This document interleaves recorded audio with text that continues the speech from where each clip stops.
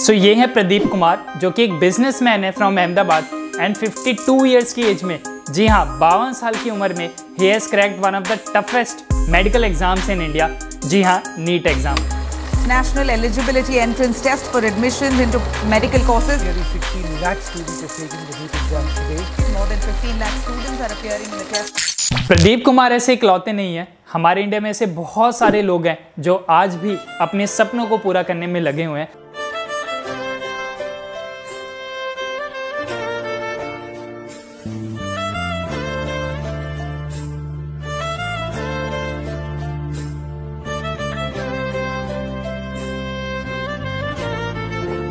Because may B उस time पर उनके पास वो अपॉर्चुनिटीज़ नहीं थी फैसिलिटीज़ नहीं थी, या मे बी फाइनेंशियल सिचुएशन घर की उतनी अच्छी नहीं थी कि वो अपने सपने पूरे कर सके। But even at the age of 52 Pradeep Kumar जैसे लोग गर्स रखते हैं to sit in the NEET exam and in fact clear it जब मैंने ये स्टोरी पढ़ी थी तो आई वॉज़ रियली इंस्पायर्ड और मेरा तो दिन बन गया था। शायद आज आपका भी दिन बन जाएगा। बट ये कितना ज़्यादा इंपॉर्टेंट है कि सोसाइटी में हर एज के लोग पढ़े लिखे हो ताकि वो अपने सपने पूरे कर सकें। But on the other side ये इमेजेस शायद आपको दुखी कर देंगी और ये सोचने पर मजबूर कर देंगी कि हमारे एडटेक सेक्टर के स्टार्टअप के साथ आखिरकार प्रॉब्लम क्या है। बस सीखने की चाह है। Startups going in for massive layoffs. Most of these startups that have had massive layoffs are from the e-commerce and edtech sectors. So these layoffs happened across multiple edtech startups in India in 2022 बिकॉज़ बहुत सारी attack startup बहुत तेज़ी से ऊपर बढ़ गई थी और फिर ये उतनी ही तेज़ी से नीचे गिरती हैं बिकॉज़ फंडिंग ना मिलने की वजह से कॉस्ट कटिंग के नाम पे एक्सपेंसेस कम करने के नाम पे ये सारी एटेक कंपनीज़ मास में अपने एम्प्लॉयज़ को ले ऑफ़ करती हैं बट क्या आपको लगता है कि ये सारी कंपनीज़ कभी सोचती होंगी कि उन एम्प्लॉयज़ पर आखिरकार क्या बीती होगी, जिन्हें ये एक झटके में ऐसे बाहर निकाल देते हैं? बाइजूस एंड अन अकेडमी इस साल अभी तक हज़ार से भी ज़्यादा एम्प्लॉयज़ को फायर कर चुके हैं। So what is the reason for this contrasting image of our education system या एडटेक सेक्टर जहाँ पर एक तरफ़ 52 ईयर्स की एज में प्रदीप कुमार जैसे लोग नीट एग्ज़ाम क्लियर कर रहे हैं और वहीं दूसरी तरफ़ बाइजूस अन अकेडमी जैसी कंपनीज़ हज़ार से भी ज़्यादा लोगों को एक साथ ऐसे फायर कर देती है। सो so, इसका रीजन जानने के लिए हमें थोड़ा पास्ट में चलना होगा। रात 12 बजे से संपूर्ण लॉकडाउन होने जा रहा है। PM Modi announced the national lockdown, and this is what India witnessed in the last 12 months. Covid 19 लोगों की जिंदगियों में प्रॉब्लम्स ही प्रॉब्लम्स लेके आया था बट इन एक्टेक सेक्टर की कंपनीज़ के लिए कोविड 19 एक वरदान साबित हुआ। बिकॉज़ वो दो साल लगातार स्कूल्स बंद रहे थे and suddenly in edtech sector की कंपनीज़ का ऑनलाइन एजुकेशन मॉडल बहुत ही ज़्यादा सक्सेसफुल बन गया। And it started fulfilling the gap in our traditional education system and जैसे जैसे स्टूडेंट्स पेरेंट्स इन एडटेक कंपनीज़ के कस्टमर्स बनते गए, वैसे वैसे इन एडटेक कंपनीज़ की वैल्यूएशन इनके डिमांड इनके रेवेन्यूज और इनकी फंडिंग भी वैसे ही बढ़ती गई। And it's not a surprise कि वो लास्ट दो सालों में पाँच एडटेक कंपनीज़ यूनिकॉर्न बनी थी। सो so, आइए अब देखते हैं कि कोविड 19 के टाइम इन एडटेक सेक्टर की कंपनीज़ की फंडिंग में कितना ज़्यादा इजाफा हुआ था। सो so, अगर हम 2019 की बात करें तो जो भी एडटेक सेक्टर में कंपनीज़ थी उनको कंबाइंड 500 मिलियन मिलियन डॉलर्स की फंडिंग मिली थी। वहीं दूसरी तरफ़ 2020 में ये फंडिंग 10 गुना तक ऑलमोस्ट बढ़ गई थी and it reached around 4.7 billion dollars and उसमें से 1.9 बिलियन डॉलर्स तो बाइजूस को ही फंडिंग मिली थी। एंड ये सिलसिला 2021 में भी कंटिन्यू रहा और ये फंडिंग 50 परसेंट तक ऑलमोस्ट बढ़ी and it reached around 6 billion dollars but covid में सडनली ये एडटेक सेक्टर सारे वीसीज और इन्वेस्टर्स का फेवरेट क्यों बन गया था? तो जब भी ऐसा कुछ हो तो हमेशा याद रखना कि इसके पीछे कोई ना कोई इंटरेस्टिंग स्टोरी या बहुत ही ग्लैमरस स्टोरी बेची जा रही होगी। एंड द स्टोरी इज़ कि it was predicted that by 2025 our Indian edtech sector market will reach 30 billion dollars और उससे नेक्स्ट पाँच सालों में it will increase ten X like thirty billion dollar से वो थ्री हंड्रेड बिलियन डॉलर्स पहुँच जाएगा। सो so, आप देख सकते हैं कि क्योंकि एजप्शन इतनी ज़्यादा बड़ी बड़ी की जा रही थी, इस वजह से सारे वीसीज और इन्वेस्टर्स इस एटेक सेक्टर के, इस बबल का या इस ग्रोथ का पार्ट बनना चाहते थे। एंड एक डेटा के अकॉर्डिंग 2019 में इंडिया में 9000 से भी ज़्यादा एटेक स्टार्टअप थे। सो so, ये क्लियर है कि इन एटेक सेक्टर कंपनीज़ के लिए कोविड 19 एक वरदान बन के आया। नाउ फास्ट फॉरवर्ड टू 2022 अब देखते हैं कि सडनली इस सेक्टर में ऐसा क्या बदलाव हो गया। तो सबसे बड़ा रीज़न जो ये सेक्टर आज स्ट्रगल कर रहा है, उसका ये था कि स्कूल्स एंड कॉलेजेस अब रीओपन हो गए हैं। वो ट्रेडिशनल वे में जैसे ऑफलाइन मोड में चलते थे, वैसे चलना स्टार्ट हो गए एंड सेकेंड सबसे बड़ा रीज़न ये आ जाता है कि फंडिंग की बहुत ही ज़्यादा कमी हो रही है। बिकॉज़ हर जगह, हर ग्लोबल मार्केट में इंटरेस्ट रेट्स बढ़ाए जा रहे हैं। मार्केट से लिक्विडिटी को कम किया जा रहा है। इस वजह से जो फंडिंग इन स्टार्टअप्स को मिलती थी, वो बहुत ही ज़्यादा कम हो गई है। And that is why these edtech startup companies are struggling right now so जैसा कि हमने देखा था कि 2021 में एडटेक सेक्टर की कंपनीज़ को 6 बिलियन डॉलर की फंडिंग मिली थी। वहीं अगर हम इस साल का डेटा देखें तो अगस्त 15 2022 तक इन एडटेक सेक्टर की कंपनीज़ को सिर्फ़ दो बिलियन डॉलर की फंडिंग मिली है, जो कि लास्ट ईयर के कंपैरिजन में ऑलमोस्ट 66 परसेंट का गिरावट हमें देखने को मिल सकता है। एंड इवन दो अभी साल खत्म होने को बाकी है बट जो ये फंडिंग विंटर है, ये ऐसे ही चलने की पूरी पूरी उम्मीद है और इनकी फंडिंग में बहुत ज़्यादा इंक्रीज होने का भी पोटेंशियल या फ्यूचर प्रोस्पेक्ट नहीं दिख रहा। Actually the startups are more like a vampire जैसे vampire don't make their own blood they had to rely on somebody else blood so that they can survive वैसे ही इन एडटेक कंपनीज़ के जो startups हैं, उनको बाहर से external funding venture capitalist investors की फंडिंग पर डिपेंडेंट रहना पड़ता है बिकॉज़ मोर और less this edtech companies do not have their own profits mostly के तो नहीं ही हैं. And to make the things even worse इस सेक्टर में जो टॉप टू कंपनीज़ हैं बाइजूज एंड अन अकेडमी उन दोनों ही कंपनीज़ की जो ब्रांड रेपुटेशन है, उनकी मार्केटिंग टेक्टिक्स है, या उनके एथिक्स है, लोग उनको बहुत ही ज़्यादा क्वेश्चनिंग करते हैं. And these questionable marketing practice have only made the things worse for this sector बोलने में अच्छा नहीं लग रहा but this can be called as the tip point जहाँ से मैसिव ले ऑफ़ होना स्टार्ट हो गई थी. सो so, अब बात करते हैं the main reason for massive ले सो सबसे बड़ा रीज़न मैसिव ले का यही है funding crunch and slowing growth because most of the tech startups are not self sustainable ये फंडिंग के सहारे ही चलते आ रहे थे इसलिए अब इन्हें मैसिव ले करने पड़ रहे हैं. बट इसका एक तोड़ निकाल लिया है इन नेटेक सेक्टर की कंपनीज़ ने. Companies like Vedantu and Unacademy वो अपने टीचर्स को ही अब अपने न्यू सेल्स फोर्स बना रहे हैं. सो so, टीचर्स को ही प्रेशराइज किया जा रहा है कि वो वायरल वीडियोस क्रिएट करें और सेल्स टारगेट को मीट करें. एंड ऑब्वियसली ये प्रेशर बहुत सारे टीचर्स के लिए भारी भी पड़ रहा है. सो so, लास्ट महीने टीचर्स डे के ओकेजन पर कंट्री की second most valuable edtech firm जी हाँ अन अकेडमी बेंगलुरु में एक ऑफलाइन फ्लैगशिप इवेंट होस्ट करने वाली थी. बट सडनली लास्ट मोमेंट्स पर यह प्लान चेंज कर दिया गया और फिर ये इवेंट मात्र एक यूट्यूब लाइव स्ट्रीम बन के रह गया. बट हाँ उस इवेंट्स में कुछ मेजर अनाउंसमेंट्स की गई. Within a couple of hours कि Unacademy has launch around 50 new YouTube channels और उस एक्विजिशन को भी पब्लिक बनाया गया where they said that they have acquired Gate Academy जो कि एक टेस्ट प्रिपरेशन फर्म है।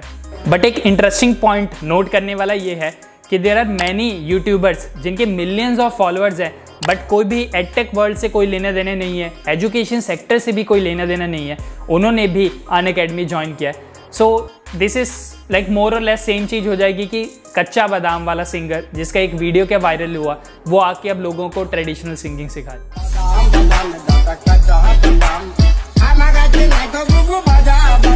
सो आप ये तो समझ ही सकते हैं कि ये कोई ऐसा स्टेप नहीं लिया गया था जिससे स्टूडेंट्स को कोई हेल्प हो, बल्कि ये एक मार्केटिंग स्ट्रेटेजी थी to acquire new customers to acquire new students भले ही क्वालिटी ऑफ़ एजुकेशन इससे खराब हो जाए। इसके अलावा अन के सी विवेक सिन्हा के स्पीच में भी जो पॉइंटर्स बढ़ा चढ़ाकर दिखाए गए थे, वो थे watch time and subscriber growth on their website as well as YouTube channel जो शायद मुझे नहीं लगता कि किसी एजुकेशन कंपनी को जज करने के लिए एक अच्छा पैरामीटर बट इस चमक धमक से दूर a dark reality was only known to Unacademy teachers due to shortage of funding and slow revenue growth Unacademy के ऊपर एक तलवार लटक रही है to maintain its growth and because अब कोविड जैसे वो जो सेल्स में बूम आया था, वो पॉसिबल नहीं है।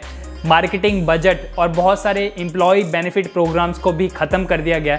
सो अल्टीमेटली टीचर्स के ऊपर ये तलवार लटकाई जा रही है कि you should stand at the front line to get more new students no matter what it takes so so, एक केमिस्ट्री फैकल्टी मेंबर जिन्होंने अपनी जॉब छोड़ी अन अकेडमी में मई के महीने में उन्होंने अपनी स्टेटमेंट में बताया कि हर महीने टीचर्स को ईमेल्स पर ईमेल्स किए जा रहे थे with an updated and revise sales target मतलब उन पर प्रेशर बनाया जा रहा था कि आप इन सेल्स टारगेट को पूरा करो। फॉर एग्ज़ाम्पल अगर किसी टीचर की बेसिक सैलरी एक लाख रुपये थी तो उन पर प्रेशर बनाया जा रहा था कि आप at least thirty five to forty thousand rupees की सेल्स हर महीने हिट करो।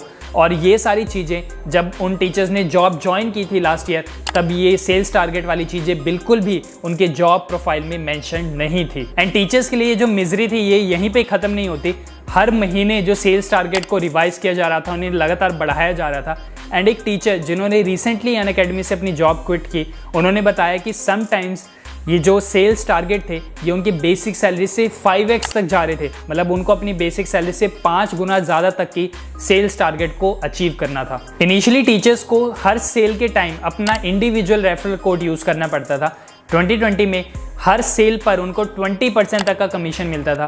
2021 में ये कमीशन आधा रह गया 10 परसेंट और 2022 में, आज की डेट में ये परसेंटेज कमीशन बहुत ही कम है टीचर्स के लिए। इससे भी खराब बात अगर आप अपनी सेल्स टारगेट अचीव नहीं कर पाते तो आप सैलरी कट के लिए तैयार हो सकते हैं।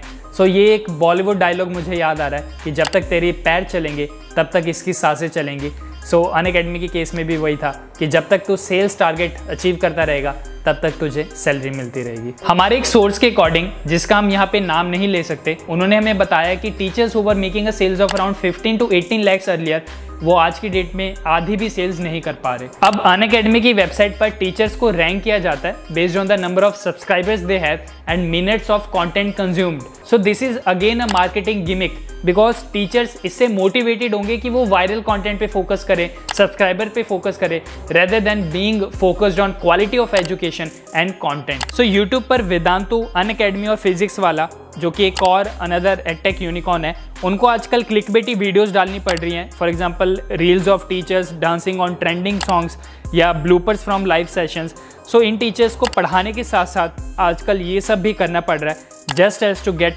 more views and watch time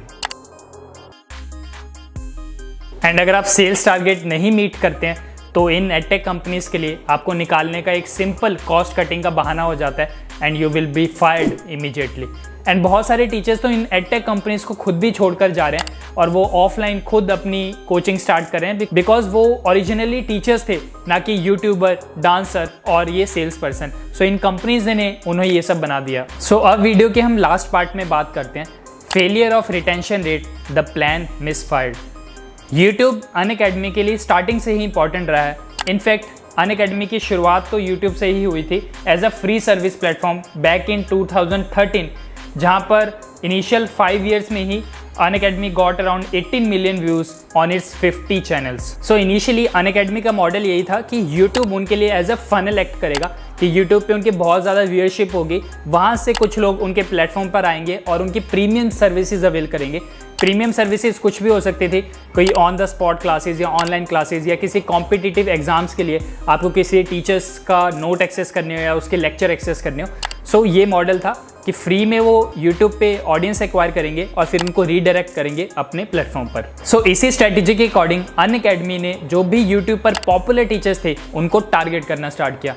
deal ये होती थी कि आइधर वो उनका पूरा चैनल ही खरीद लेते थे या उनके चैनल को रीब्रांड करके अन अकेडमी में मर्ज कर देते थे। तो उनका प्लान यही था कि जो टीचर के जो भी वेयर्स होंगे, वो उनके प्लेटफॉर्म पर आ जाएँगे। और टीचर्स को ऐसे अपने प्लेटफॉर्म पर लेके आने के लिए वो उनको करोड़ों का पैकेज भी ऑफ़र करते थे। या अगर कोई टीचर एक्सेप्ट ना करे तो वो उन्हें as a part time teacher भी अपने प्लेटफॉर्म पर लेके आ जाते थे। तो इस टाइम तक तो अन का जो ग्रोथ था, वो बहुत ही ज़्यादा तेज़ी से हो रहा था। फिर एक अनयूजुअल टर्न आता है. इन 2020 जो भी टीचर्स किसी यूट्यूब चैनल्स के ऊपर काम कर रहे थे, उन्हें एक ग्रुप रेफरल कोड दिया जाता था कि आप पूरी टीम मिलकर सेल्स ड्राइव करो और जो भी सेल्स के ऊपर आपको कमीशन या इंसेंटिव्स मिलेंगे, वो पूरी टीम में डिस्ट्रीब्यूट होंगे. और ये प्लान बहुत ही ज़्यादा सक्सेसफुली काम किया और अन अकेडमी ने फिर उस प्लान को चेंज करके इंडिविजुअल रेफरल कोड देना स्टार्ट कर दिया कि हर एक टीम में, हर एक टीचर के लिए एक अलग इंडिविजुअल रेफरल कोड हुआ करता था. सो so, इससे हुआ ये कि विद इन द ग्रुप एक कंपटीशन की फीलिंग आना स्टार्ट हो गई। एंड जो टीम पहले एक साथ मिलकर ड्राइव करती थी सेल्स और अच्छा कंटेंट बनाती थी उसका फोकस अब इंडिविजुअल इंसेंटिव्स की तरफ़ ज़्यादा हो गया, जिससे कंटेंट क्वालिटी बहुत ज़्यादा गिर गई। और फिर अन अकेडमी ने टीचर्स की रैंकिंग भी based on number of subscribers and watch time कर दी, जिससे कंटेंट की जो क्वालिटी थी वो और ज़्यादा गिर गई। इसके अलावा अन अकेडमी प्लेटफॉर्म पर कोई भी एज एन एजुकेटर रजिस्टर कर सकता था। आपको कुछ डेमो क्लासेस देनी होती थी। अगर उनको आपका काम पसंद आता था तो आपको कोई कॉन्टैक्ट भी दे दिया जाता था। सो so, इसी सब्सक्राइबर और व्यूज़ की ग्रोथ के पीछे बहुत सारे मल्टीपल यूट्यूब चैनल्स लॉन्च किए गए थे। Obviously the plan misfired because बहुत सारे चैनल की वजह से the students got confused and the retention rate fail जिसकी वजह से टीचर्स को ही फिर अन अकेडमी ने सेल्स फोर्स बना दिया कि आप जाओ और अब हमारे लिए सेल्स लेके आओ। एंड जैसे कि मैंने वीडियो में पहले भी आपको बताया था कि ये जो सेल्स टारगेट थे इसी की बेसिस के ऊपर टीचर्स की इंसेंटिव और उनकी सैलरी डिसाइड होती थी। तो जो अच्छे टीचर होंगे ऑब्वियसली उनका प्राइमरी स्किल टीचिंग था, वो कोई सेल्स पर्सन नहीं थे। तो अच्छे टीचर्स के जो इंसेंटिव्स थे, उनकी सैलरीज वगैरह ड्रॉप होने लगी बिकॉज़ वो शायद सेल्स उतना अच्छा ड्राइव नहीं कर पा रहे थे। और जो एवरेज टीचर्स थे मे बी वो उतने अच्छे टीचर ना हो बट मे बी वो शायद अच्छे सेल्स पर्सन थे, जिसकी वजह से उनकी सैलरी उनके इंसेंटिव्स बढ़ते गए। बट इसी इनकम डिस्पैरिटी की वजह से, अन अकेडमी में जो भी अच्छे टीचर्स थे जो शायद अच्छे सेल्स पर्सन ना हो बट वो अच्छे टीचर्स थे वो अन अकेडमी को छोड़ते गए बिकॉज़ उनकी इनकम बहुत ही ज़्यादा कम हो गई थी जो भी एवरेज टीचर्स के कंपैरिजन में। एंड बिकॉज़ अन अकेडमी का जो टॉप मैनेजमेंट था सीनियर मैनेजमेंट था वो भी अन अकेडमी को धीरे धीरे छोड़ता गया। सो so, इस पूरी केस स्टडी से ये तो श्योर है कि एडटेक का जो फ्यूचर है अभी भी वो in a state of confusion है। बिकॉज़ जो भी नए नए स्टार्टअप्स आए थे वो फंडिंग के बेस पे उनको बहुत ही ज़्यादा तेज ग्रोथ मिली वो भी ड्यूरिंग कोविड टाइम्स बट अब क्योंकि चीज़ें बैक टू नॉर्मल हो चुकी है offline classes offline colleges offline institutes भी स्टार्ट हो चुके हैं तो क्या अब ये एडटेक प्लेटफॉर्म्स ऑफलाइन एजुकेशन के अगेंस्ट या अपनी ट्रेडिशनल एजुकेशन जो सिस्टम था, जैसे वो चलता आ रहा था, उसके अगेंस्ट कम्पीट कर पाएँगे कि नहीं, ये देखने वाली बात होगी। इसलिए आप देखेंगे कि जो बहुत सारे एडटेक स्टार्टअप थे, अब वो ऑफलाइन की तरफ़ भी बढ़ रहे हैं। सो वो अब हाइब्रिड मॉडल फॉलो करना चाहते हैं। फॉर एग्ज़ाम्पल अन अकेडमी ने भी अपनी बहुत सारे कोचिंग इंस्टीट्यूट्स कोटा में अभी रिसेंटली ओपन किए हैं। सो होपफुली आपको ये वीडियो अच्छी लगी होगी। अगर आपको हमारी वीडियो हमारी रिसर्च हमारी मेहनत अच्छी लगी हो तो प्लीज़ इस वीडियो को लाइक ज़रूर करें।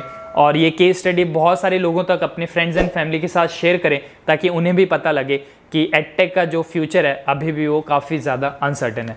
सो so, आपके क्या व्यूज़ हैं इस केस स्टडी के रिलेटेड आपके क्या व्यूज़ हैं एडटेक के फ्यूचर के रिलेटेड सो so, ज़रूर हमें कमेंट करके बताएँ। मिलते हैं नेक्स्ट वीडियो में तब तक के लिए bye bye and as always keep learning